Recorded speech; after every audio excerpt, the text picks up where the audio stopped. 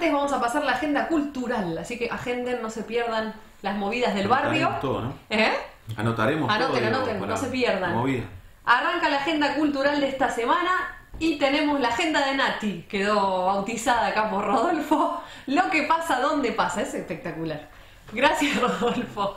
Entonces, arrancamos con la agenda. Este jueves 11 de octubre tenemos la milonga de tiempos modernos del bodegón del barrio.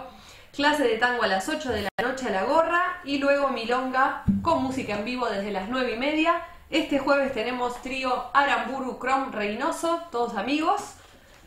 Eh, le vamos a mandar un beso a Clarita Eva, que es la gestora cultural de tiempos modernos de cada jueves. Aristóbulo del Valle 1701, todos a tiempos modernos el jueves a disfrutar de la música y del tango. Muy bien. Próxima placa. Viernes 12 de octubre tenemos a Luis Lancele más Floro Aramburu en Borges 1975, que es una sala muy linda, no sé si la conocen los chicos. Sí. Con cantante invitada Natalia González. Es un club de jazz y blues muy hermoso. Bueno, en este caso tangos van a sonar. 9 y media de la noche, entrada 150 pesos, pueden reservar.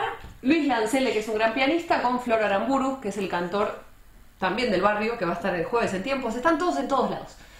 No se los pierdan a los chicos. Y la última, el sábado 13 de octubre, en el Ecuni, Espacio Cultural Nuestros Hijos, está la Peña de los Abrazos, que se hace una vez por mes, que es hermosa, en la ex ESMA, Avenida Libertador 8151. Hay clases de danza, música en vivo, ahí están todos los, los cantores y grupos invitados. Patio de comida, precios populares. Es un espacio muy lindo para acercarse a la ex ESMA en el espacio cultural Nuestros Hijos Ecuni. Esto es el sábado 13 de octubre desde las 7 y media de la tarde.